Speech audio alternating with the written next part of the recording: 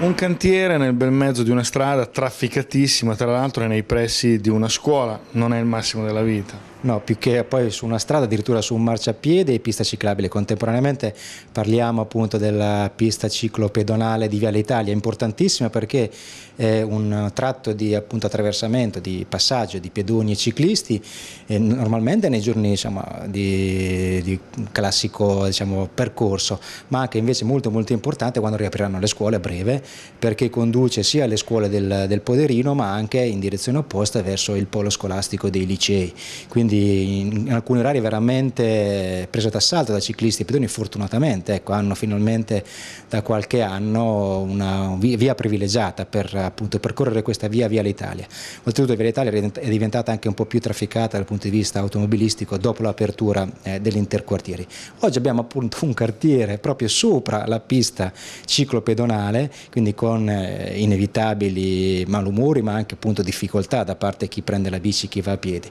Quindi ecco, in una città dove c'è eh, diciamo, lo slogan principale è Fano città dei bambini e delle bambine e poi oltretutto da uh, fine dell'anno scorso scolastico è stato riattivato, a scuola ci vado da solo e questa è una delle arterie principali che vengono proprio percorse dai bambini che vanno a scuola da soli a piedi, ecco ci pare una cosa abbastanza, diciamo un controsenso enorme. Ecco noi appunto chiediamo che eh, questo tratto eh, venga assolutamente liberato dal cantiere anche perché altri cantieri precedenti sulla stessa via non avevano occupato questo, questo spazio